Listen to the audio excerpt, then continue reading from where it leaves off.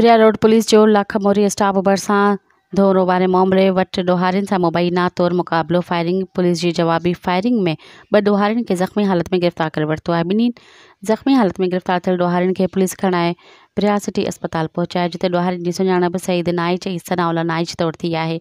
डॉक्टरनि पारां ज़ख़्मियुनि खे तिबी इमदाद ॾिनी वई, इलाज लाइ नवाबशाह अस्पताल रेफर कयो वियो। इन मौक़े ते एस एच ओ बिरिया रोड मुनीम लाड़क ॿुधायो त पुलिस मोबाइल गश्त करे रही हुई त ओचितो धोरो वारी मौरी वारी डोह के इरादे से बीठल ॾोहारियुनि पुलिस से फायरिंग कर दिनी पुलिस जी जवाबी फायरिंग में ॿ ॾोहारी ज़ख़्मी थी पिया जॾहिं त हिकु ॾोहारी फ़रार थी वियो हुन ॿुधायो त ज़ख़्मी हालत में गिरफ़्तार थियल ॿई ॾोहारी ॾह ॾींहं अॻु फुर दौरान फोरन की फायरिंग में शहीद थियल पुलिस एहलकार राफेल जलबाणी के क़तल केस में घुर्बल हुआ जो त ॿिन्हिनि जो क्रिमिनल रिकॉर्ड वरितो पियो वञे।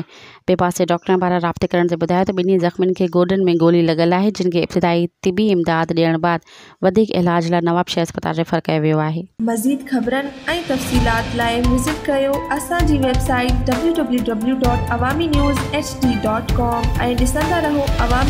H D.